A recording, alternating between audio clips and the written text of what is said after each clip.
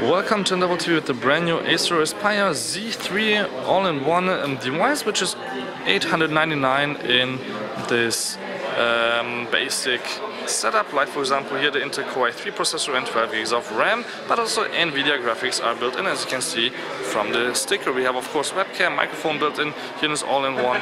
Also an optical uh, drive, which you can check out here on the side on this matte screen uh, or matte device on the back, and also the on and off switch right here on the bottom. A few ports also right there on the other side, but here metal or kind of metal, yeah it's actually metal um, leg so you can of course tilt the display also quite nicely um, here straight or a little bit so that you can also use it um, standing here at the table. Keyboard and mouse will be also built, uh, um, be in the box and of course also speakers here on the bottom are uh, giving you a nice sound for multimedia experience. Otherwise USB 2.0 um, USB 3.0 actually uh, SD card reader, USB 3.0 again, and 3.5mm headphone jack.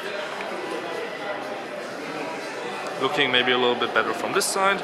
Then here on the back we have of course more ports, like for example um, more sound ports, USB 3.0 for example, HDMI, network, power and another HDMI so we have in and out.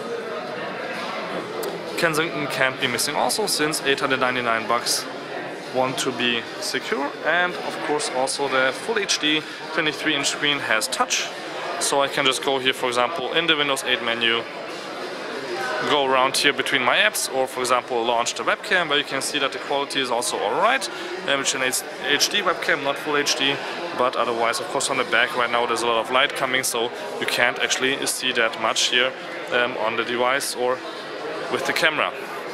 So this was a really short hands-on here with the Acer Aspire um, Z3 all in one. Thank you much for tuning in. Don't forget to subscribe. My name is for nDevil TV.